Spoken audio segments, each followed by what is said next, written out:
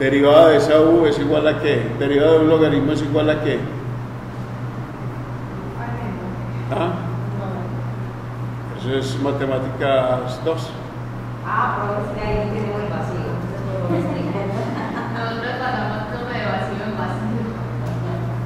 Entonces sabemos que la derivada de un logaritmo es 1,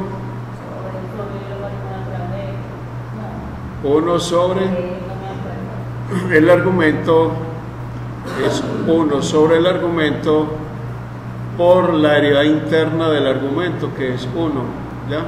Por el diferencial de x. ¿Ya? Entonces u es igual a tener u es igual a tener a de x sobre x más quién? Más 3. Ahora se podrán dar cuenta de lo siguiente, que tenemos esto acá, ¿ya?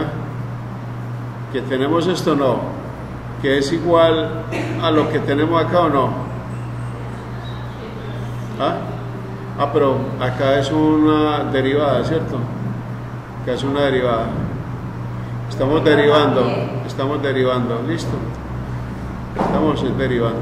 Bien, entonces resulta de que al sustituirlo me queda lo siguiente.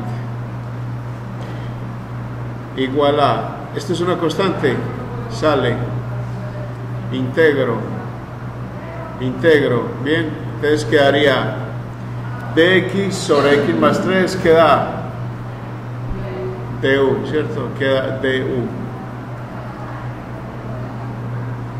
du. Y esto equivale a cuánto?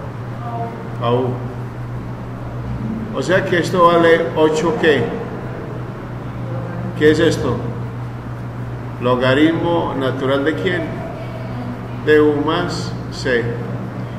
Y eso es igual a 8 logaritmo natural de u y u vale u vale eso logaritmo natural de x más 3 más c ya